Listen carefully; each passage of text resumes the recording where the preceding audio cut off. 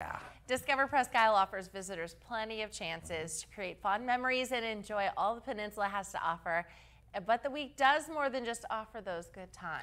Yeah, Erie News Now's Kara Jeffers is not live down at the Presque Isle State Park. We'll look at some of the projects that uh, are paid for from the fundraising, uh, all put together by the Presque Isle Partnership, those buttons and t-shirts as they uh, look to sell at Dis Discover Presque Isle. Good morning, Kara.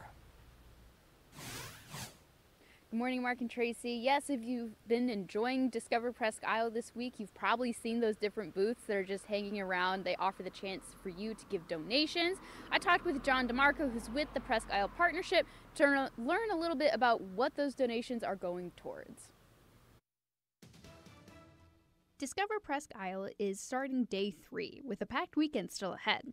As guests enjoy the plethora of activities, they may have noticed booths offering donation boxes and merch for sale. So it's very important that people come out to the park and give a little back for all that Presque Isle gives to us all throughout the years. John DeMarco is the executive director of the Presque Isle Partnership, the organization that hosts Discover Presque Isle each year.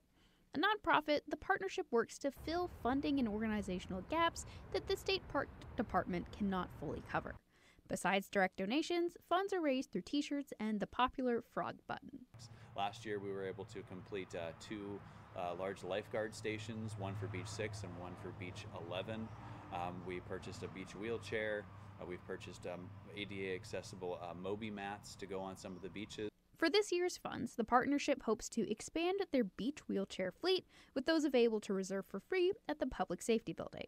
They also want to add solar panel and lighting at the Waterworks Gear Tower and is to do some native tree plantings in the fall. Um, Presque Isle is mainly cottonwood trees, so we're looking to increase that diversity.